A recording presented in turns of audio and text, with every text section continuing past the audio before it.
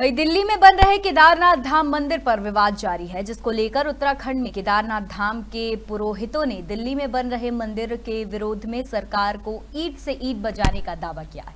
साथ ही आदि शंकराचार्य अवि मुक्तेश्वरानंद ने 228 किलो के सोने घोटाले को लेकर भी कई सवाल खड़े किए हैं।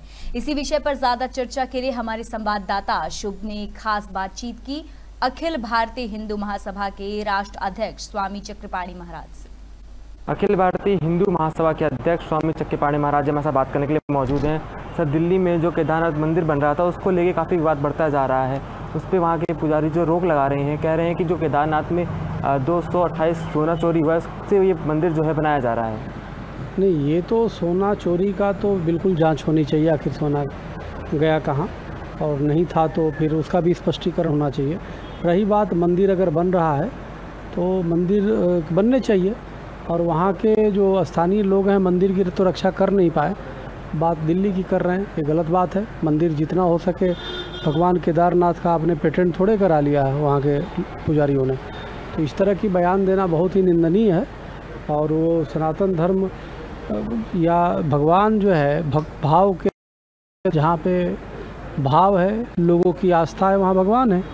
तो इसलिए मेरा मानना है कि मंदिरों की शाखाएँ जो बन रहे हैं मंदिरों के अलग अलग जितने हो सके मंदिर बनने चाहिए। अगर ऐसा अगर जो रोक लगाया जाए तो राम मंदिर, अयोध्या में बना कहीं दो दुनिया में कोई राम मंदिर ना बने।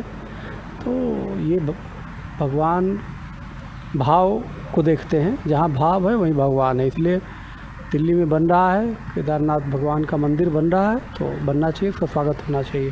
उत्तराखंड के मुख्यमंत्री ने भी कहा है कि केदारनाथ धाम अलग है, जो कि एक मंदिर अलग है इसे किस तरह से देखेंगे? बिल्कुल वो तो वो तो सिद्ध स्थान है वो तो आ, उसका स्थान एक अपने आप में वो है वो तो आदि केदारनाथ जी है और सबसे पहले वो है।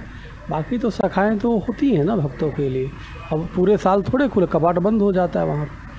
तो इसलिए इस तरह की जो सोच रखता है कहीं ना कहीं सनातन परंपराओं को और सनातन को समझ नहीं पाता इसलिए रखता है। बहुत बहुत शुक्रिया हमारे साथ बात करने के लिए। था हमारे साथ बात करें स्वामी चक्के पाड़े महाराज जी एम के न्यूज़ के लिए दिल्ली से शुभ से